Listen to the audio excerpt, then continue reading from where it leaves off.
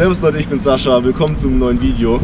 Ihr seht heute mal seriös unterwegs. Das hat den Grund, da wir heute einen Porsche abfilmen und nicht irgendein Porsche, sondern wir filmen hier mehr oder weniger das Ende der Fadenstange, den Endgegner ab. Und zwar den 901.2 Turbo S. Viel Spaß mit dem Video.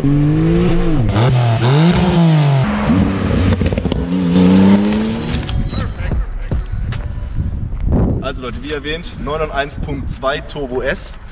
911er, kennt ihr alle von klein auf, weiß jeder, was ein 911er ist. Äh, schauen wir uns das gerne mal ganz kurz gemeinsam an. Das ist die Baureihe 991.2, sprich 991er Baureihe, nicht mehr die ganz aktuelle. Ähm, es gab ja den 991.1, der wurde, glaube ich, ich, müsste, ich glaube von 2011 ungefähr, also die gibt es richtig lange schon, die Baureihe. Und dann gab es das Facelift 991.2, den haben wir hier auch muss ich wirklich sagen, von 991.1 zu 991.2 hat sich wirklich einiges getan, optisch finde ich. Vor allem die Rücklichter zum Beispiel und auch so ein paar andere Exterior-Sachen. Und das Facelift-Modell 991.2 wirklich ein wunderschöner Wagen. Und es ist scheißegal, ob wir da vom GT3 reden, GT3 RS reden, vom Turbo oder vom Turbo S. Alle mega Autos. Ähm, hier haben wir jetzt in relativ Serien 991.2 von außen. Ähm, ja, wie gesagt, Abgasanlage, ist aber verändert und zwar haben wir da eine Techart-Abgasanlage. Techart ist bei mir hier fast ums Eck. Die sind ja mehr oder weniger spezialisiert auf Porsche und der hat hier eine Abgasanlage von denen. Die hören wir uns auch gleich nochmal an. Äh, ich würde sagen, das ist mit Sicherheit nicht verkehrt, denn da ist nicht nur die Techart-Abgasanlage drin, sondern Techart-Abgasanlage rein, Cuts raus. Also, das wird auf jeden Fall ein gutes Video werden, äh, wie ihr es schon kennt. Äh, ansonsten schauen wir gerne mal ganz kurz rein in den Wagen. Hier muss ich wirklich sagen, ist halt Porsche von der Qualität her und helles Leder finde ich auch echt nice. Vor allen Dingen, wenn man den schwarzen Fußraum hat, weil dann ist es nicht so empfindlich wie sonst.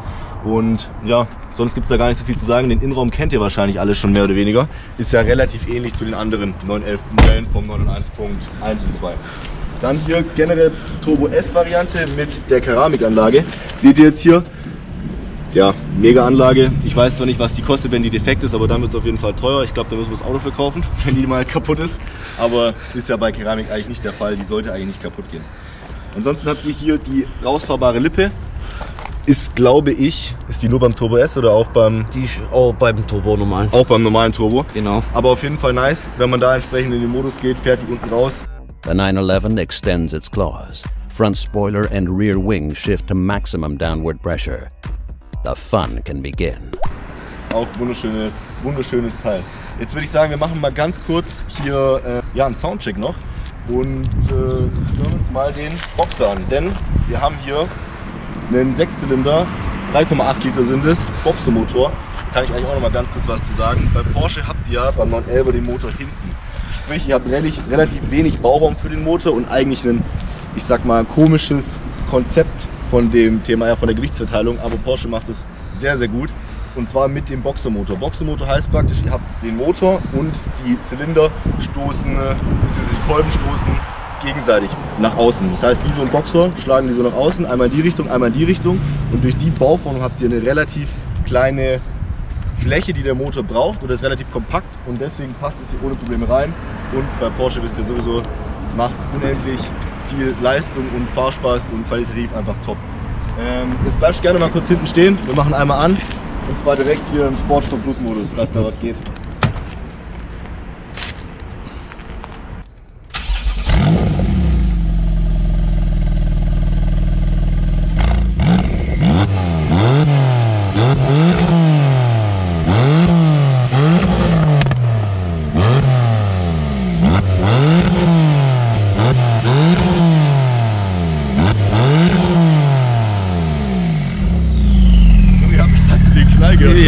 Alter, der war echt brutal. Also ich, äh, ich denke sogar, da kommen auch Flammen raus. Ähm, vielleicht sehen wir das gleich noch im Tunnel, müssen wir echt mal gleich schauen. Aber es war gerade geisteskrank, geisteskrank laut, muss ich echt sagen. Ich habe gar nicht damit gerechnet, weil der unten gar nicht geschossen hat. Aber jetzt schon. Äh, zur Software, die ist übrigens Serie von der Leistung, also 580 PS, 750 Newtonmeter. Die wecken hier schon alle auf. Ähm, nichts gemacht, nur halt entsprechend die Cuts raus programmiert. Und jetzt würde ich sagen, wir drehen mal eine Runde und schauen uns das Ganze mal an, wie das so performt. Super. Was für ein Sport aber? Ich war so wie du hier. Ein, einmal Was? nach rechts gedreht. Einmal nach rechts gedreht, echt? Untenrum hat er nicht geschossen, dann einmal höher und dann hat er richtig geknallt.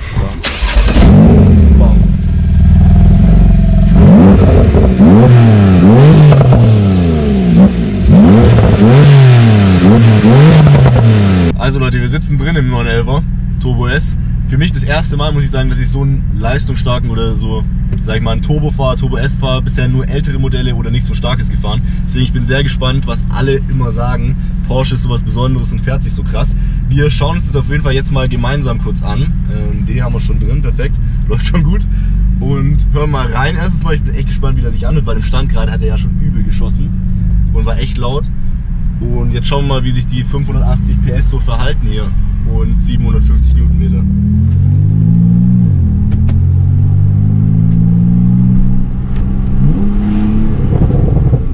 Alter.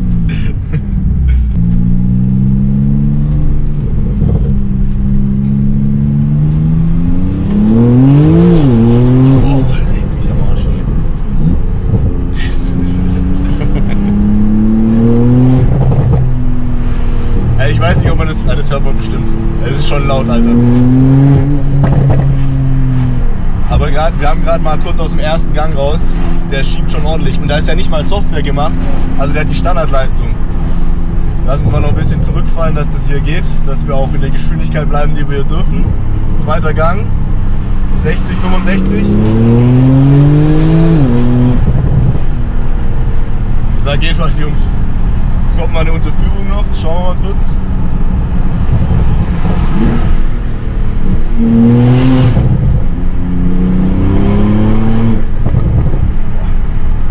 echt krass. ähm, ich würde sagen, wir fahren gleich mal kurz auf die Autobahn da vorne. Jetzt ist der beste Tag zum Drehen, Freitagnachmittag. Alle wollen nach Hause, alle wollen bei dem schönen Wetter irgendwas machen. Ähm, wir schauen auf jeden Fall mal, ob wir kurz auf die Autobahn können, weil da ist direkt unbegrenzt. Und dann schauen wir mal, ob wir da mal so, keine Ahnung, 80, 90 bis 200, 250, 300 drehen können. Einfach mal schauen, wie der so durchmarschiert. Dann lassen wir noch mal selber schalten, weil Porsche kann das ja bekanntlich alles ganz gut. Ähm, wir haben jetzt hier auch von Porsche ist das PDK, sprich ähm, Porsche Doppelkupplungsgetriebe haben wir drin. Also ich muss echt sagen, das schaltet perfekt. Ultra gut. Ich weiß nicht, ob das Video schon lief, aber ich hatte neulich einen Aventador für ein Videodreh da. Schau dich das einfach mal an.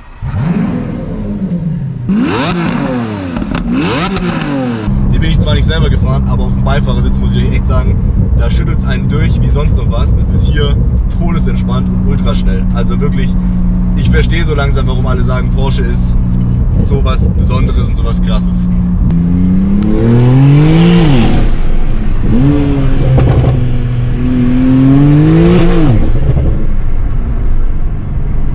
Verdammt stimmig.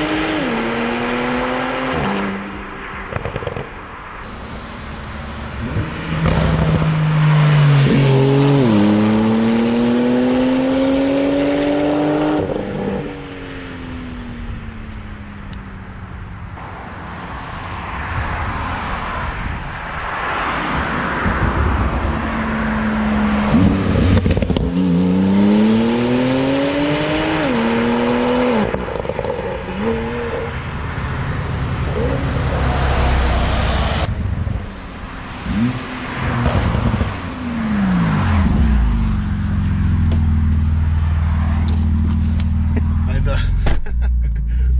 Also ihr habt gerade schon die Außenaufnahmen gesehen. Ich muss sagen, also jetzt bin ich eine Weile gefahren. Er ist echt brutal. Also man merkt es auch richtig, wie geil sich das Auto einfach fährt. Das ist einfach ein Porsche, muss ich wirklich sagen. Jetzt äh, fährt es mal doch noch schnell auf die Autobahn. Mal schauen, ob da was frei ist. Und äh, dann lassen wir mal noch kurz knallen. Schauen wir mal, ob es klappt. Ich fahre jetzt hier gerade schon drauf.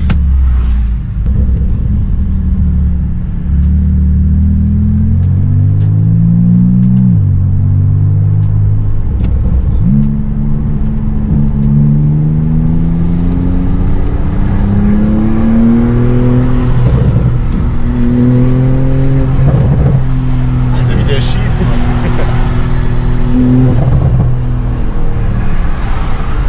Modus.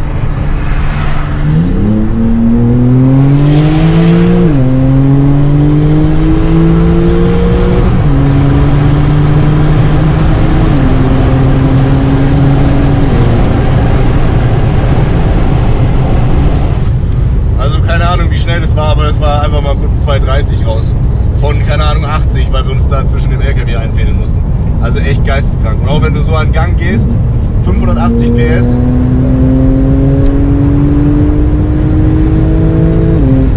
schießt schon, also schiebt ordentlich, muss man echt sagen.